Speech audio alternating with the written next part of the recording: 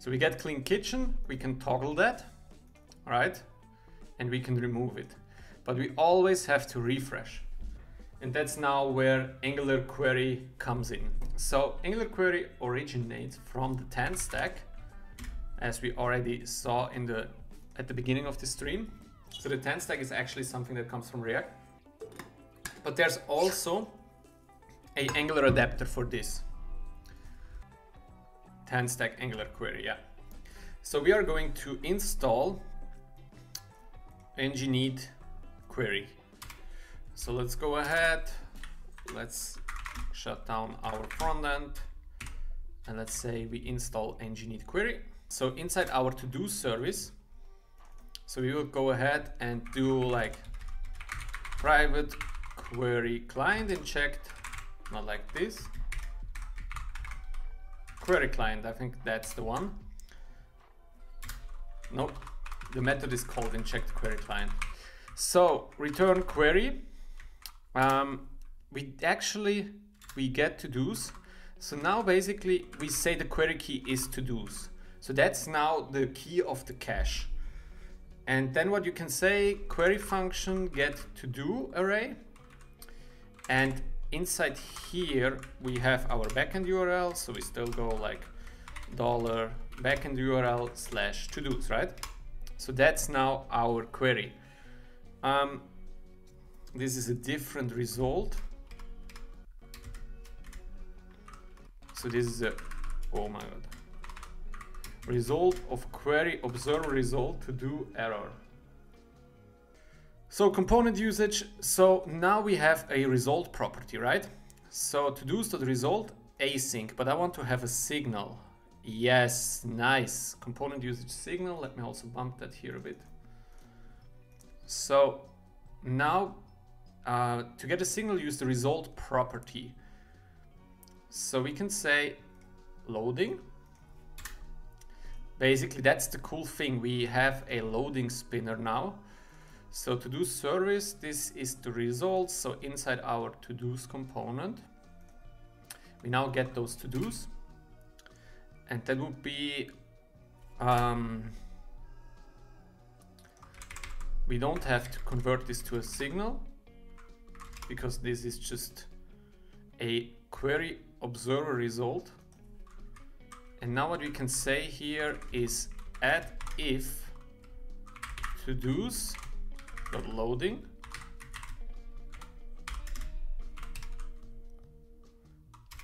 Uh, it's dot result sorry. It's dot result. We have to do that otherwise we don't get a signal. Dot result. So now we can do to do's dot loading is loading. Right? Then we can do to-dos dot data. Um, we still need to track, and if it's an error, we can have error. This is this is pretty neat. I have to say. ng neat. Cool. So now let's go again to our application. Let's add to do. So now if we load that, we can see that we get our to-dos and that's now Angular Query. I think they also have some pretty cool dev tools which can show us um, how how stuff looks like in the query cache there is somewhere dev tools utils. No type utils is fetching dev tools. So we just provide query tools with some options. Provide query dev tools. So as I would say we go to the app config and we go to our app config and we say provide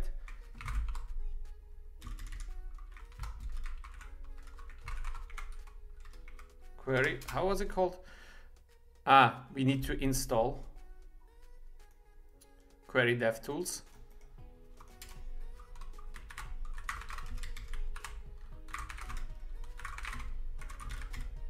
minus the this is a development tool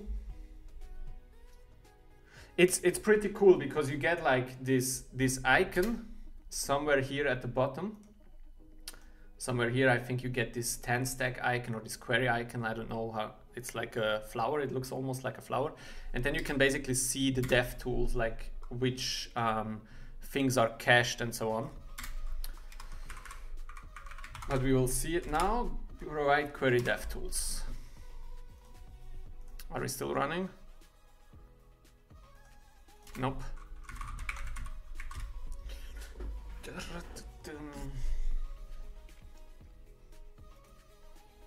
Now is okay, it's not a flower, it's like this.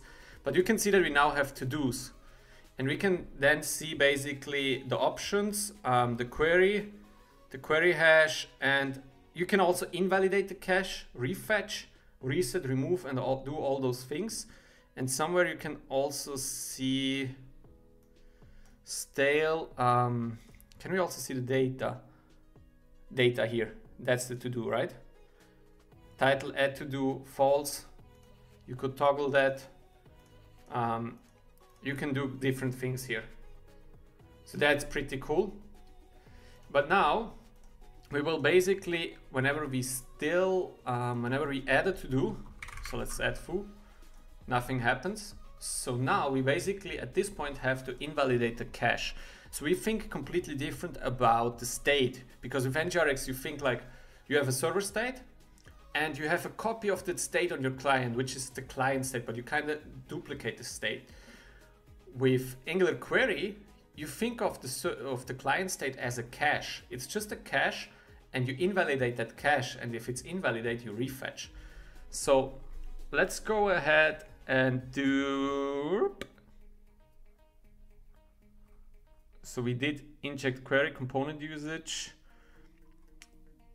typing query options. Yeah yeah. Infinite query. We also did a stream with that already. Add to do. Yes. So now we added to do and we have to use inject mutation.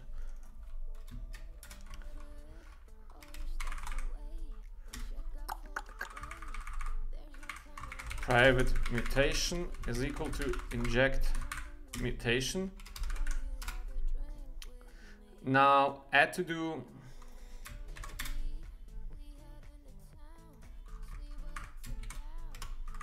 return this dot mutation. Um, mutation function takes in a title, it post title and done false. I mean the done false we could actually also handle on the server side, but yeah. And then we continue because on add to do title ref dot value, okay that's good. So now we probably have to do this inside our to-dos component, we get the to-do service and we say we have a add to-do. So then we call this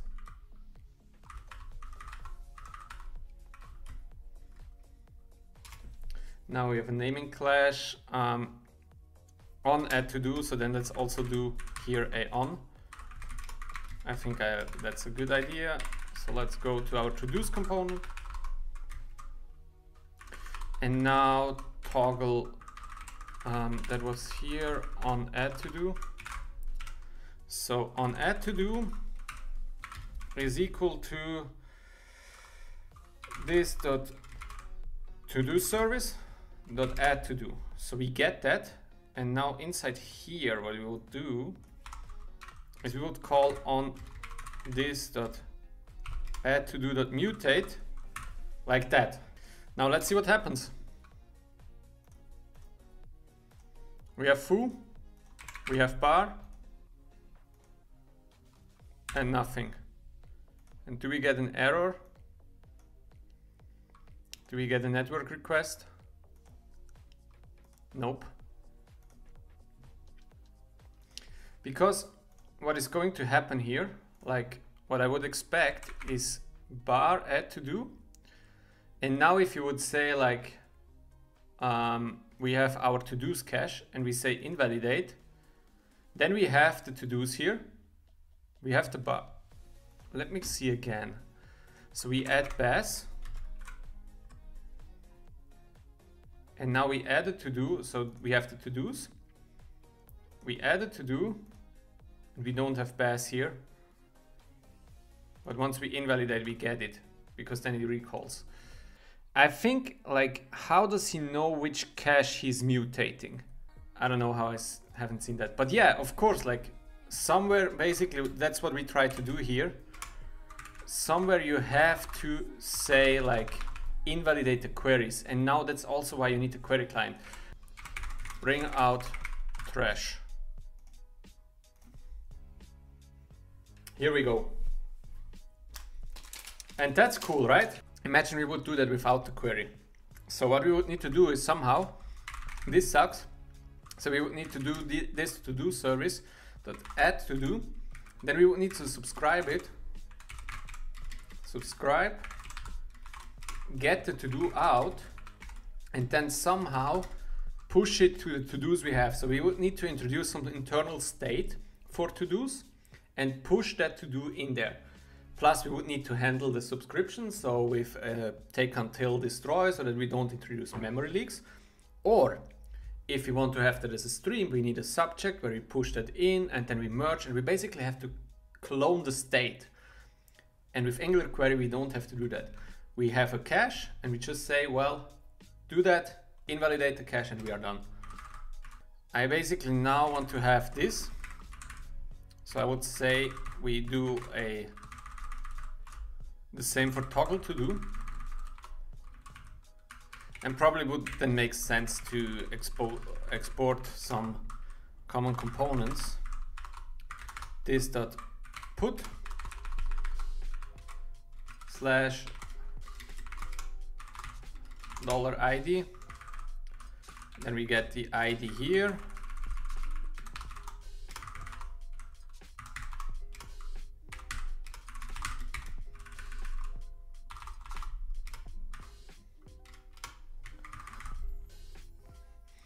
So something like that. So then we do the same for the deletion. Delete, delete. On success, invalidate queries, um, delete. Yeah,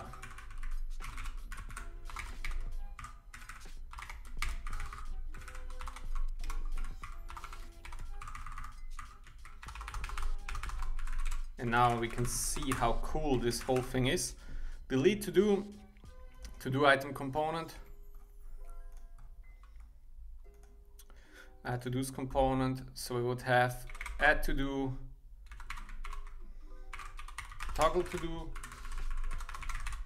toggle to do,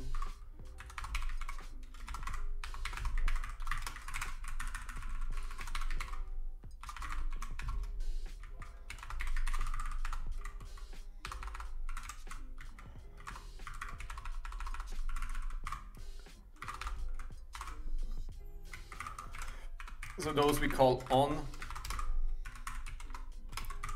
Also this one we call um, on toggle to do.